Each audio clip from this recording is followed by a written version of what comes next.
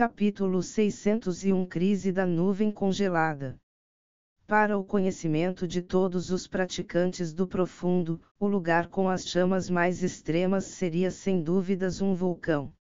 Com a intensa montanha flamejante, teriam lovas e, de tempos em tempos, teriam um mar de fogo que se estendia até onde os olhos deles podiam ver. Um lugar como esse ocasionalmente renderia tesouros espirituais preciosos de atributo fogo, enquanto simultaneamente agiria como o lugar de cultivação favorito para alguns praticantes do profundo de alto nível que se especializam no elemento fogo. O reino do demônio ilusório e o continente céu profundo ambos tinham vulcões de vários tamanhos espalhados por toda parte, mas não seria nem um pouco exagerado dizer que esse canto do mar da morte tinha uma área muito maior do que todos esses vulcões combinados. Mesmo um poderoso monarca iria imediatamente ficar pálido quando uma discussão surge sobre o Mar da Morte, era um lugar que ninguém ousava se aproximar. A atividade do elemento fogo neste lugar era além do limite da imaginação de qualquer praticante do profundo.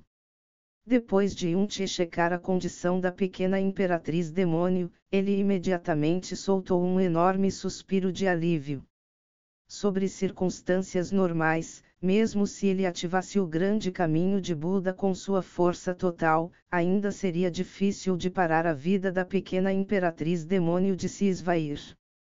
Mas agora, já que a energia da natureza era dez vezes mais rica neste lugar, ele não apenas podia curar seus ferimentos rapidamente, ele também podia seguramente garantir que ela preservaria sua vida.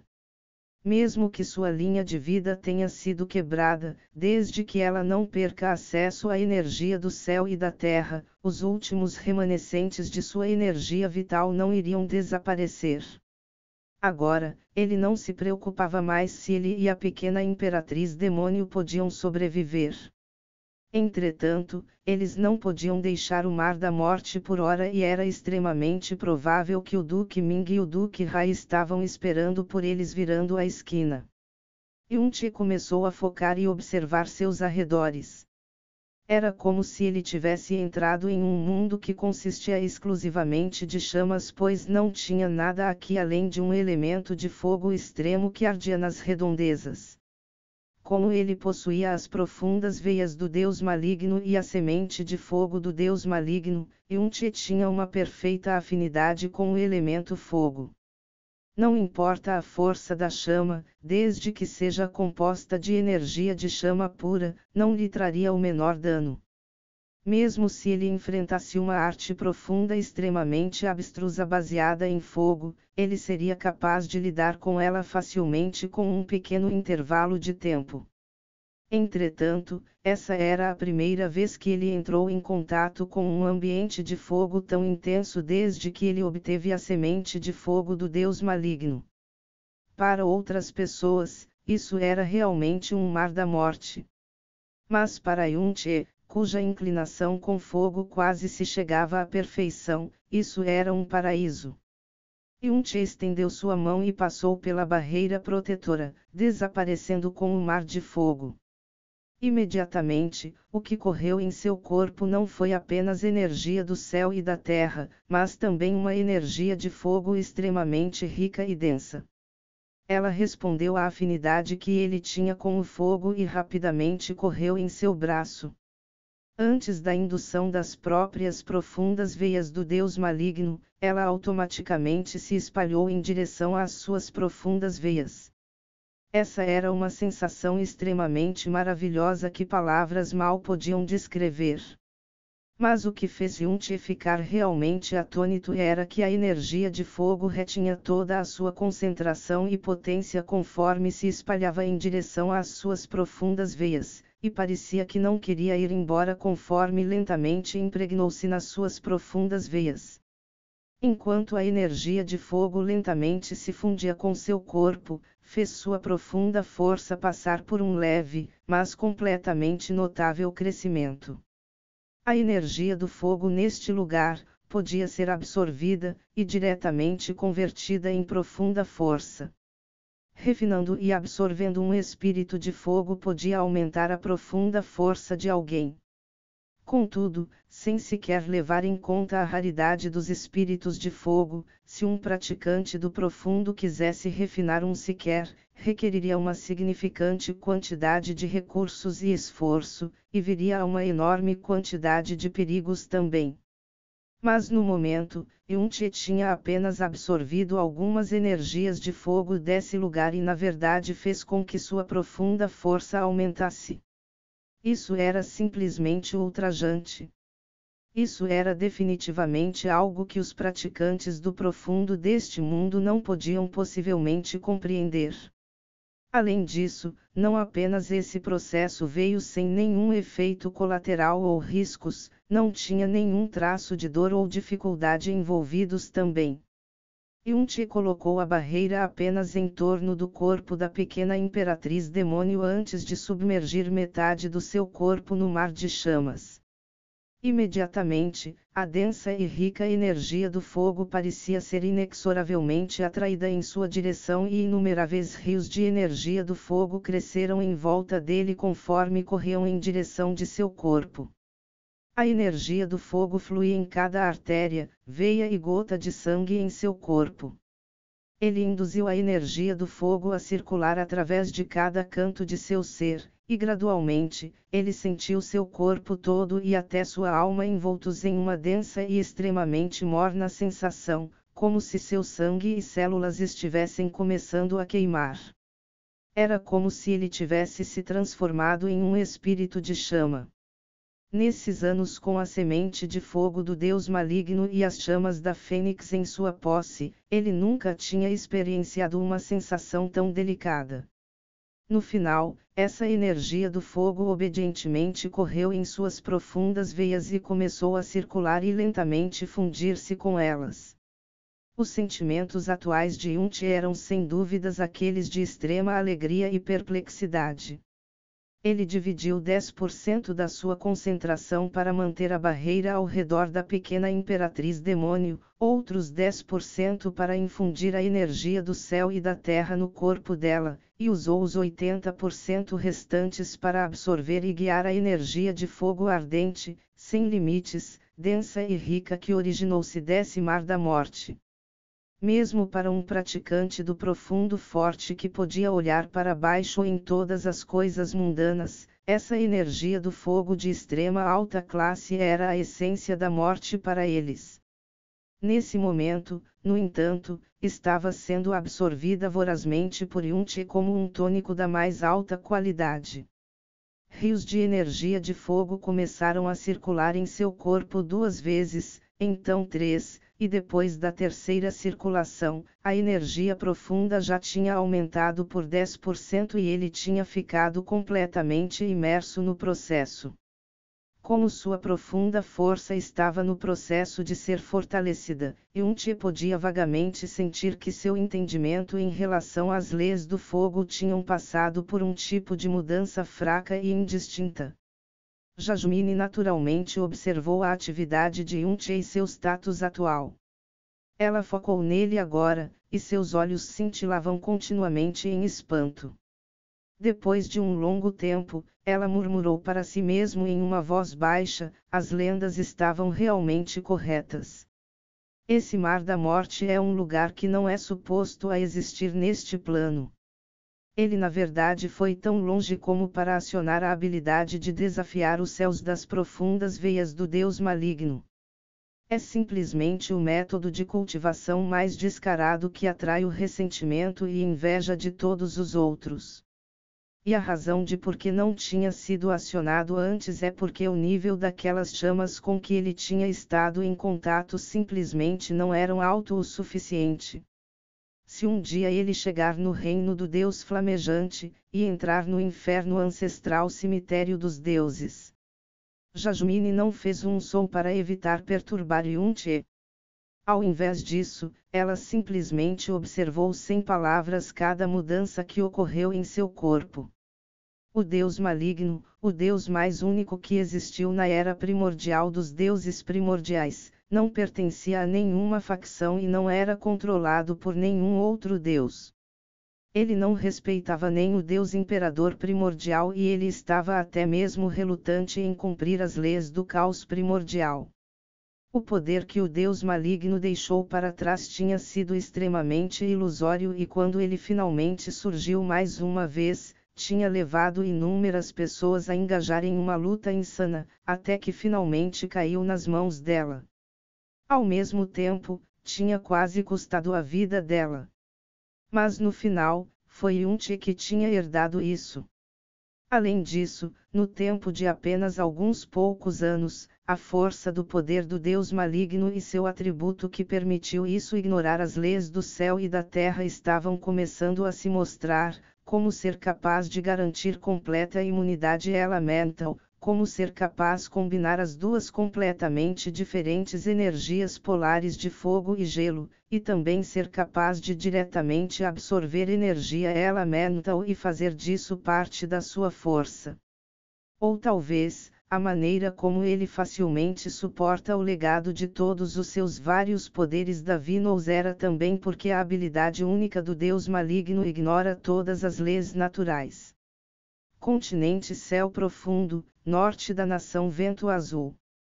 Essa lugar é a região de neve do gelo extremo.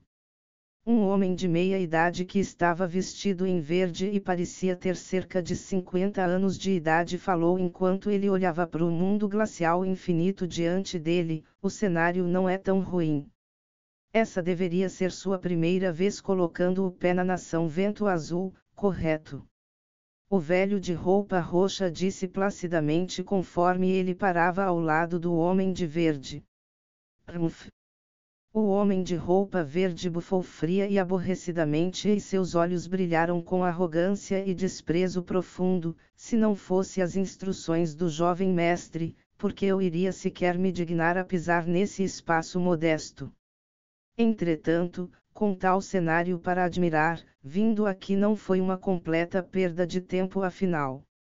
Esse era um grupo de 20 pessoas e aqueles que estavam guiando eram o homem de roupa verde e o senhor de roupa roxa.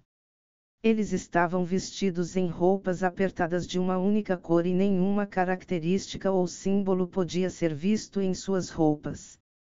Mas o que era realmente chocante era que todas as 20 pessoas emitiam uma profunda aura que era sem dúvidas incomparavelmente assustadores especialmente o homem de roupa verde e o homem de roupa roxa, seus corpos claramente emitiam a aura do profundo reino tirano, e era uma aura que se aproximava do estágio médio do profundo reino tirano. Mesmo os mais fracos dos seus seguidores emitiam a aura de um trono nível 8. A pessoa mais forte da nação Vento Azul, Ling Tiani, era um trono no sexto nível, e ainda qualquer uma das 20 pessoas presentes eram melhores do que ele. Qualquer um deles tinha a qualificação para rivalizar a nação Vento Azul inteira. Esses dois senhores saprimos eram existências aterrorizantes que eram como deuses na nação Vento Azul, eles podiam facilmente apagar o céu do mundo da profunda cultivação da nação Vento Azul com uma mão. Se você quer admirar o cenário, você terá mais do que tempo suficiente depois de completarmos nossa missão. O senhor de roupa roxa disse em uma voz branda: Nuvem congelada de Asgard está aninhada com essa região glacial. Depois de nós termos encontrado aquela garota chamada Siakingui, nós podemos voltar para dar nosso relatório para o jovem mestre. O homem de roupa verde olhou adiante e a direção em que ele olhou aconteceu de ser onde a nuvem congelada de Asgard estava localizada. Essa região de neve infinita mostrou poucos sinais de vida humana, mas, dado a percepção espiritual de um praticante no profundo reino tirano, travar diretamente na localização da nuvem congelada de Asgard nesse lugar espaçoso e vazio definitivamente não era uma tarefa difícil. Ele sorriu alegremente enquanto dizia: Eu ouvi que a nuvem congelada de Asgard é um dos quatro grandes poderes da nação Vento Azul e é apenas inferior para a Vila da Espada Divina. Mas parece que os indivíduos mais fortes estão apenas no profundo reino imperador, e não tem nem mais do que dois ou três desses tronos juntos. uma terra inferior é no final, apenas uma terra inferior. Eu simplesmente não consigo entender por que o jovem mestre iria querer que atendíssemos a um assunto tão trivial. Pare de reclamar. O homem de roupa roxa disse solenemente, o jovem mestre disse claramente que essa garota, Siakingui, é extremamente importante para ele. Se não fosse pelo fato de que o gargalo de sua arte demoníaca afrouxou repentinamente e requeriu que ele entrasse em confinamento, o jovem mestre estava até mesmo preparado para tomar ação pessoalmente. Então deveria ser claro apenas quão importante esse assunto é para o jovem mestre. Além disso, essa missão é muito menos difícil do que você parece acreditar. A expressão do homem de roxo ficou grave. O jovem mestre disse que aquela Siakingui tem 22 anos, e ainda sua aparência é apenas aquela de 16 ou 17 e que ela é batizada como a beleza número 1 em toda Vento Azul. Além disso, nós não temos nenhuma outra pista. Nuvem congelada de Asgard tem de 2 a 3 mil discípulas, e elas são todas reportadamente belezas. Se eles insistirem em não apontar quem é Siakingui, definitivamente não será fácil diferenciar todas elas. Além disso, o jovem mestre fortemente enfatizou que nós devemos levar Siakingui de volta viva, e seria melhor se nós não feríssemos nenhum fio de cabelo em sua cabeça. Se Siakingui morrer, então nossas cabeças também irão rolar quando voltarmos. Então, antes de determinarmos quem é Siakingui, nós não podemos ser muito agressivos em relação a nenhuma das discípulas e todas as nossas ações devem ser tomadas com o maior cuidado. Ha ha ha ha. O homem de verde deu uma grande risada. Quando um tigre selvagem caça um lobo, ainda terá um elemento de risco. Mas quando um tigre selvagem esbraveja entre cordeiros, pode ainda haver a possibilidade de nós sofrermos um contratempo. Nós não podemos colocar nossas mãos em nenhuma jovem discípula, então começaremos com aquelas que são mais velhas e iremos lentamente matar a líder da seita e todas as elderes, forçando-se a Kingui a se render, é simples assim. E se isso não funcionar, nós iremos apenas apagar todas elas e trazer todas de volta. Três mil belezas, o jovem mestre irá definitivamente ficar deliciado quando as ver. De qualquer forma, eu também ouvi que o exército do Império da Fênix Divina está a menos de 500 mil quilômetros da cidade imperial Vento Azul, então, em questão de meses, essa nação Vento Azul estará completamente acabada. Ré, deve ter algo errado com a cabeça do império da Fênix Divina para eles queimarem com tanta ansiedade que eles iriam na verdade mobilizar seu exército inteiro em uma aposta para rapidamente conquistar esse reino inferior que está faltando recursos. E eles até assinaram um pacto de não agressão com as outras cinco nações. Pode ser que porque eles foram humilhados pela nação Vento Azul durante o torneio de ranqueamento das sete nações, eles caíram em um frenesi de raiva. Esses não são assuntos que requerem nossa atenção. O senhor de roupa roxa balançou sua mão através de seu rosto e seu rosto foi imediatamente coberto com uma densa camada de névoa branca. Nuvem congelada de Asgard está a 250 quilômetros. Nós podemos começar nossa operação. Eu irei repetir novamente: façam seu melhor para não exporem suas identidades. Essas são as ordens do jovem mestre. Sim, Todos os seguidores soaram ao mesmo tempo e eles também balançaram as mãos através do rosto, usando energia profunda para esconder suas aparências. O homem de roupa verde performou as mesmas ações e disse com desdém: Eu espero que essa nuvem congelada de Asgard possa nos trazer algumas surpresas, Talvez eles até sacrifiquem algum tesouro precioso e amassar minhas roupas um pouco, senão, será simplesmente muito entediante.